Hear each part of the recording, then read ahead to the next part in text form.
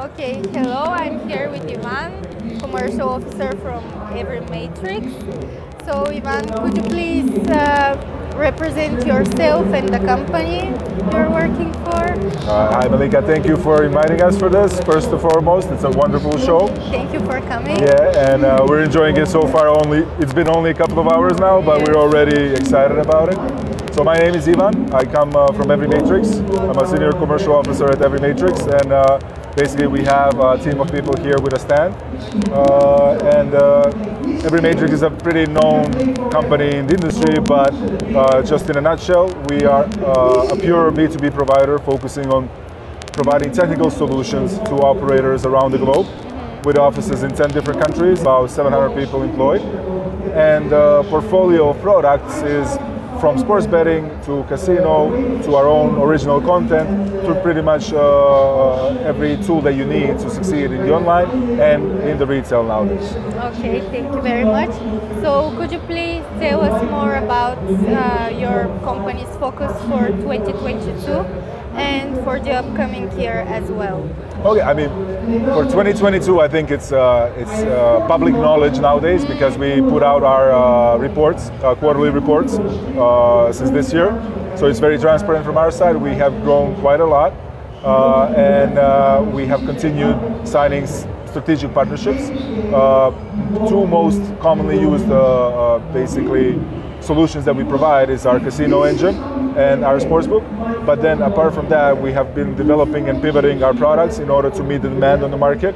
Because if you're stuck with what you have and you don't adapt, then you're pretty much dead in the water, as we say. yes. So we continue to evolve. So let's say for um, this year we introduced Slot Matrix, uh, which is our uh, game aggregation solution without any platform fees that gives you access to 200 vendors, uh, you know, in an instant, uh, along with all the jackpots, all the bonusing, everything that is included in the, in, in the whole package. And this is something that we're looking forward to. Apart from that, major thing that I want to highlight in 2022 is that uh, we have made uh, significant strides in the retail segment of our sportsbook.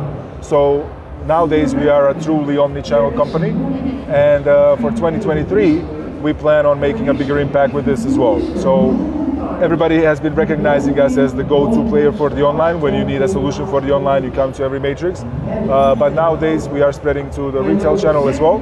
And of course coming to this uh, exhibition makes sense because it's very much omni-channel. Yes, yes. Uh, so you told us about the slot matrix, but what are other products that, um, like you would like to put um, and to put, um, like emphasize on Okay. the ex- exhibition So here? for us, the main focus of our stand right now in uh, BEGE is uh, the content. So we have our in-house studios, uh, uh, Spearhead and Armadillo, which are developing unique custom content, basically uh, unique games that are making their ways uh, throughout the world. We have launched recently with the biggest brands in uh, US. We have been steadily growing the base of uh, our customers, and we have seen a very good reception from the players as well. So our main focus on our stand, if you come and visit, will be our content, and uh, we also do our, our RGS has been used by about 15 different studios right now. So this is a growing segment for us, and we, we are putting a lot of investment and a lot of emphasis on it. And we believe it's uh, actually showing the strength, and actually it's a very competitive market uh, to create your own content, to create your own games. Uh, but we believe we have that little bit of an X factor that you need to make your games pop out and succeed. Yes. Okay. Thank you very much. And why would you say that this event is important for your company? Well, I think, listen, I think uh, the whole region is something that's been the driver for innovation globally, although it's maybe not publicly dis- uh, discussed in a way, but if you take the, the region of Balkans and the amount of people that are contributing on the product side of things, on the business side of things globally, not only Europe-wise, it's actually pretty staggering. So I think for us to be here is a must. Uh, of course, when you see all of these companies that are based here in Bulgaria and that are exposing here, uh, it's pretty much obvious that we need to be here. I mean, we got offices in 10 different countries. Bulgaria is not one of them, unfortunately, not yet. Not yet. yes. But uh, I mean, we've got a lot of partnerships going on in, in the region, and I think it's important to uh, showcase. For next year, we're planning to even increase the foot, footprint uh, by presenting the omni-channel uh, solution in an even bigger spotlight. So I think uh, we'll be coming here, uh, you know, quite often uh, from here on in. Okay, let's hope so. and my last question for you, Ivan, is how do you see the future of the gambling industry? Like, what are the most important trends that will shape the gaming industry? Okay, I mean, this might be a very vague opinion because yes. very high level. I used to work in uh, telecommunications before I okay. switched on to uh, iGaming. Uh, and I've had that experience of working in a highly regulated, very mature industry such as telecommunications, like banking as well. But what I've seen in the last five years or so, that a lot of people are changing from those very mature, very stagnant industries nowadays onto these uh, very progressive, very high growth industries like ours.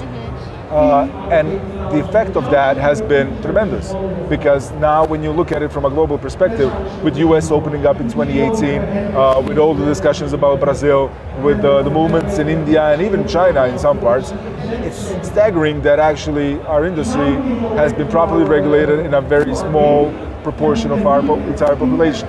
So the growth is there not only in new markets new regions but also in existing regions. Uh, what I like to always kind of emphasize that I'm not sure what's going to happen, but I'm pretty sure what's not going to happen. Okay. And I think that the players are not going to say, okay, I love your product, but I, I, wish that it was a bit slower to load. Uh, or, you know, I, I love yes. your product, but I, I would wish that I have less options. So players are enjoying the industry. They have a regulated landscape in most of the countries, thankfully nowadays, to responsibly engage in, in, in entertainment as they should.